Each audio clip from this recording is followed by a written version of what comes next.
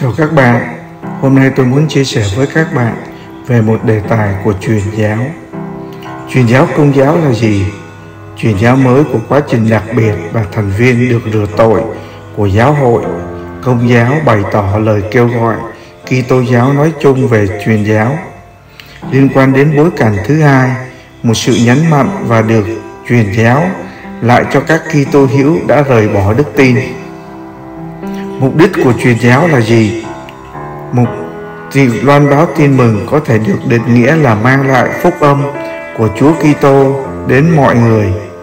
Mục đích của nó là để đưa đàn ông, phụ nữ và trẻ em tiếp xúc với Thiên Chúa hàng sống đến trong Chúa Giêsu để tìm kiếm và cứu lấy những gì đã mất. Truyền giáo có ý nghĩa gì trong Kinh Thánh? Trong Kitô giáo, truyền giáo là cam kết hoặc hành động rao giảng công khai mục vụ của tin mừng với ý định chia sẻ thông điệp với lời dạy của Chúa Kitô. Truyền giáo hiện đại là gì? Truyền giáo mới là một quá trình đặc biệt mà các thành viên được rửa tội của giáo hội công giáo bày tỏ lời kêu gọi Kitô giáo nói chung để truyền giáo. Liên quan đến bối cảnh thứ hai, một điểm nhấn mạnh là truyền giáo lại cho các Kitô hữu đã rời bỏ đức tin. Tại sao truyền giáo lại quan trọng trong Kitô giáo? Truyền giáo liên quan đến việc chuyển đổi con người sang Kitô giáo. Một số Kitô hữu cảm thấy rằng họ nên cảm nhận vai trò này vì họ tin rằng họ có thể giúp mọi người khám phá mục đích thực sự của họ trong cuộc sống.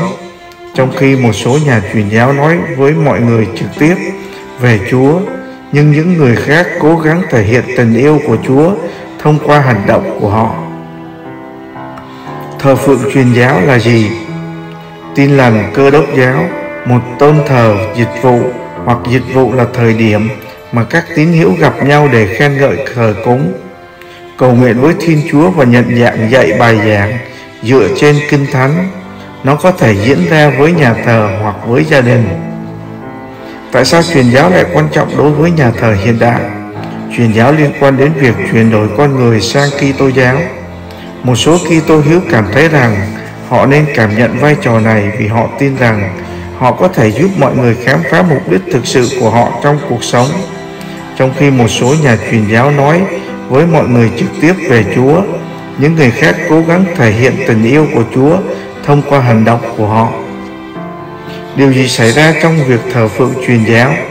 Trong tin lành cơ đốc giáo, một số nhà tôn thờ dịch vụ hoặc dịch vụ là thời điểm mà các tín hữu gặp nhau để khen ngợi, thờ cúng, cầu nguyện với Thiên Chúa và nhận dạng dạy dựa trên Kinh Thánh.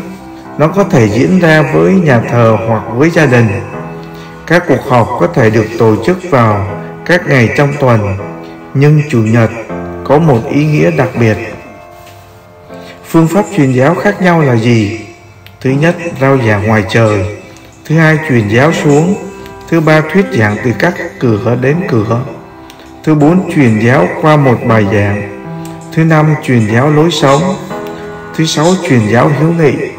Thứ bảy truyền giáo con. Thứ tám truyền giáo sáng tạo. Các tính năng chính của thờ phượng truyền giáo là gì?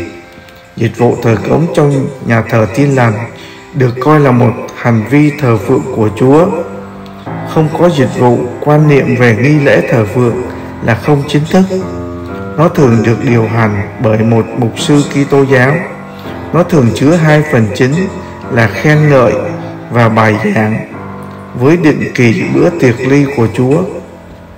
Điều gì làm cho một nhà thờ truyền giáo, bất kỳ nhà thờ tin lành cổ điển nào hoặc nhánh của họ, nhưng đặc biệt vào cuối thế kỷ 20, các nhà thờ nhấn mạnh việc đao giảng phúc âm của Chúa Giêsu Kitô, kinh nghiệm hoán cải cá nhân, kinh thánh là cơ sở duy nhất cho đức tin và truyền giáo tích cực.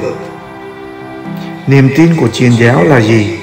Các nhà truyền giáo tin vào tính trung tâm của việc hoán cải hoặc kinh nghiệm, được tái sinh trong việc nhận được sự cứu rỗi thông trong thẩm quyền của kinh thánh như sự mặc khải của Thiên Chúa đối với nhân loại và truyền báo thông điệp Kitô giáo truyền giáo là gì truyền giáo là thực hành truyền bá niềm tin Kitô giáo vào sự cứu rỗi. Nhiệm vụ đề cập đến ý tưởng về công việc truyền giáo, nơi các Kitô hữu đến một khu vực để cung cấp viện trợ hoặc giáo dục. Sự khác biệt giữa tin lành và truyền giáo là gì? Cách dễ nhất giải thích sự khác biệt giữa tin lành là chính bắt đầu với tin lành bởi vì các nhà truyền giáo có một niềm tin rõ ràng hơn để phân biệt chúng với tin lành chính thống. Một niềm tin thứ hai là cách duy nhất để cứu rỗi là thông qua niềm tin vào Chúa Giêsu Kitô. Nhớ subscribe hay đăng ký để xem video kế tiếp. Cảm ơn.